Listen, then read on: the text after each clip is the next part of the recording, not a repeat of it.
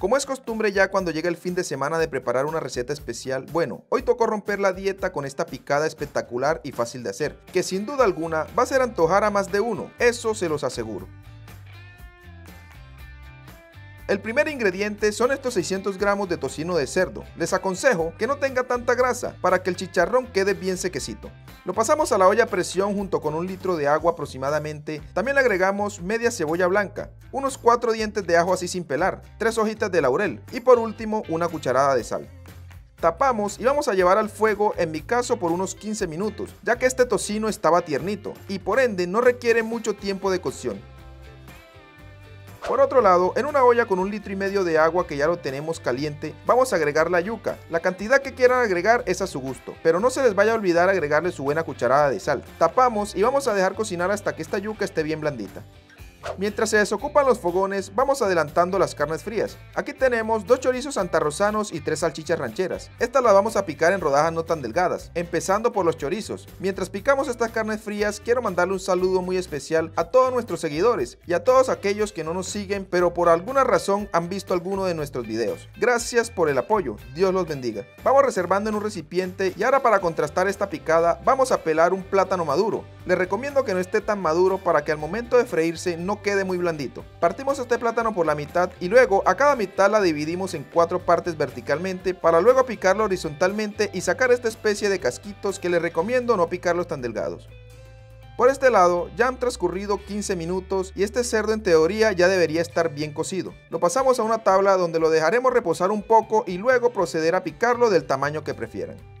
Ahora llegó el momento de empezar a freír todo. Primero, aquí tenemos unas papitas criollas de un tamaño pequeño para que las porciones sean más cómodas. Las agregamos al aceite que ya tenemos calentando a fuego bajo para que estas papitas se cocinen muy bien por dentro. Por eso es aconsejable que el aceite no esté tan caliente porque así se dorarían rapidísimo por fuera y por dentro quedarían crudas. Una vez tengamos este aspecto así bien doradito como lo estás viendo, vamos reservando sobre papel absorbente para eliminar el exceso de grasa que les queda. En este mismo aceite podemos incorporar el plátano maduro picado, pero con mucho cuidado de no quemarse como casi le pasa a Juliana. Gracias a Dios no pasó nada. Al igual que las papas, estos platanitos cuando estén bien doraditos podemos sacarlos y reservarlos sobre papel absorbente. Lo bueno de esta preparación es que no vamos a gastar mucho aceite, ya que en este mismo vamos a freír todo. Ahora llegó el momento de incorporar las carnes frías, igualmente hasta que estén bien doraditas y para afuera. Miren qué belleza de color.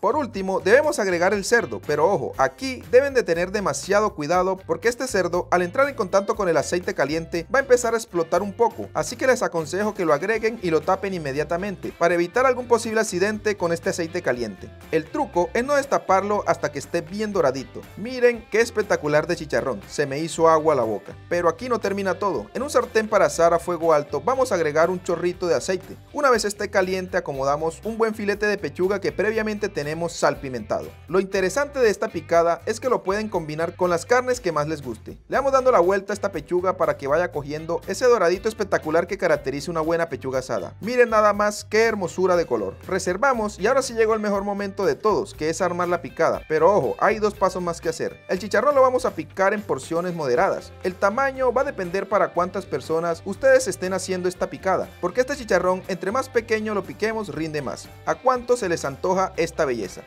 Terminado de picar el chicharrón, vamos con la pechuga. Esta igualmente la picaremos en porciones moderadas y reservamos. Ahora sí, procedemos a armar la picada. En una bandeja empezamos poniendo una buena porción de pechuga, otra porción de chicharrones, un poco de las carnes frías, su platanito frito, no se les olvide las papitas criollas, yuquita picada y por último para acompañar un rico guacamole que hicimos detrás de cámara y un espectacular pico de gallo. Recuerden que estos acompañamientos ya los hemos hecho varias veces en videos anteriores, los invito a que lo revisen para que lo preparen y listo, hemos terminado este espectacular e increíble picado. ¿Qué les parece? Si quieren agregarle alguna salsita barbecue es a su gusto, pero ojo, no se les vaya a olvidar lo más importante de esta receta, que son dos palillos para poder disfrutar. Gracias por ver el video, espero les haya gustado y se animen a preparar esta rica picada. Yo soy Ricardo, nos vemos en una próxima ocasión. Chao, chao.